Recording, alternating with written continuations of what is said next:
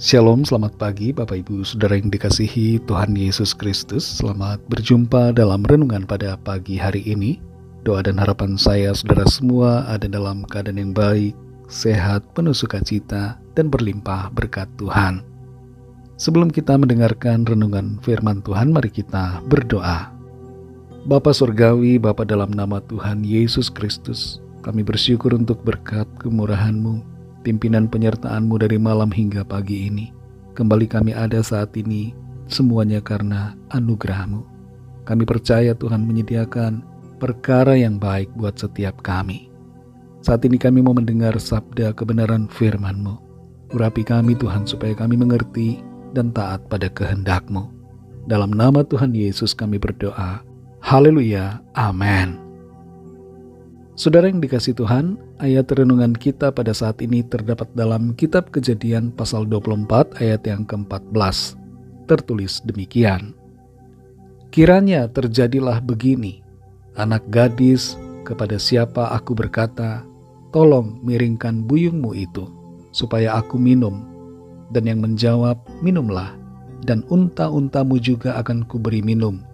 Dialah kiranya yang kau tentukan bagi hambamu Ishak maka dengan begitu akan ku ketahui bahwa engkau telah menunjukkan kasih setiamu kepada Tuanku itu. Saudara yang dikasih Tuhan, ada istilah kalau mau mengundang kupu-kupu, jangan memakai jaring, tapi buatlah taman bunga agar kupu-kupu itu datang. Dalam mencari pasangan hidup, tidak sedikit orang yang membuat persyaratan dan kriteria tentang orang yang akan mendampinginya. Ada yang menginginkan pasangannya mandiri, setia, dan mengasihi. Ada yang ingin pasangannya kaya, punya tempat tinggal, bisa membantu pekerjaan rumah tangga, dan bisa menerima keadaan apa adanya. Semua kriteria dan persyaratan tidak ada salahnya, tapi perlu juga kita melihat pada diri kita sendiri apakah kita memenuhi kriteria yang dicari oleh orang lain. Seperti istilah tadi, sering kali dalam mencari pasangan hidup, sikap kebanyakan orang malah ibarat seperti menuntut kupu-kupu untuk membuat taman bunga. Dalam kejadian 24 ayat 14 ini, kita baca kembali. Kiranya terjadilah begini. Anak gadis kepada siapa aku berkata, tolong miringkan buyungmu itu supaya aku minum, dan yang menjawab, minumlah, dan unta-untamu juga akan kuberi minum. Dialah kiranya yang kau tentukan bagi hambamu Ishak. Maka dengan begitu akan ku ketahui bahwa engkau telah menunjukkan kasih setiamu kepada tuanku itu.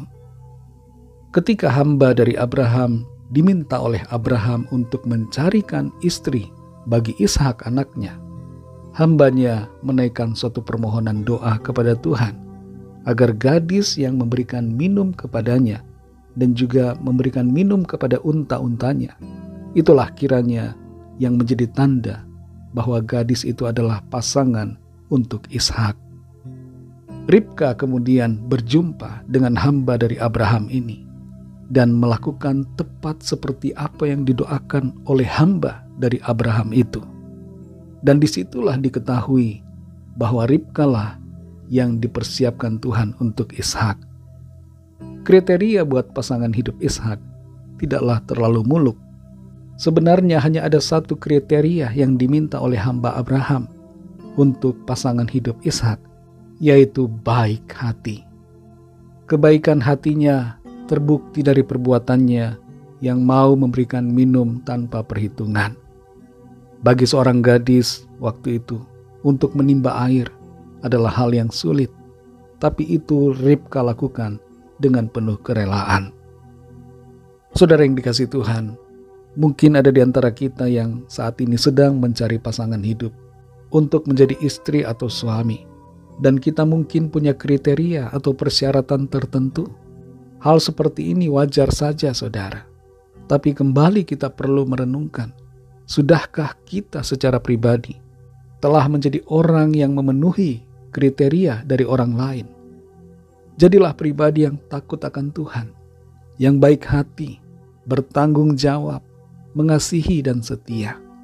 Dengan demikian kita akan jadi pria idaman, khususnya kalau kita adalah pria, dan kita akan menjadi wanita impian, khususnya bagi kita yang wanita, karena sifat dan sikap kita yang baik hati dan berbelas kasihan. Bagi kita yang sudah berumah tangga, mari jadikan rumah tangga kita ibarat seperti taman bunga untuk pasangan hidup kita. Tidak perlu kita menuntut, tapi jadilah pribadi yang menyenangkan dan membahagiakan suami atau istri kita. Tuhan Yesus memberkati setiap rumah tangga dan keluarga kita masing-masing. Dan Tuhan juga akan menolong saudara yang saat ini sedang mencari pasangan hidup untuk menemukan pasangan hidup yang baik hati sesuai dengan rencana Tuhan. Mari kita berdoa. Terima kasih Tuhan kami mengucap syukur kepadamu oleh karena berkat firman-Mu yang sudah kami dengar. Kami bersyukur karena firman-Mu menegur kami untuk mengoreksi diri kami dan menjadikan diri kami sebagai pribadi-pribadi yang menyenangkan hati orang lain, yang ibarat membuat taman bunga untuk pasangan hidup kami.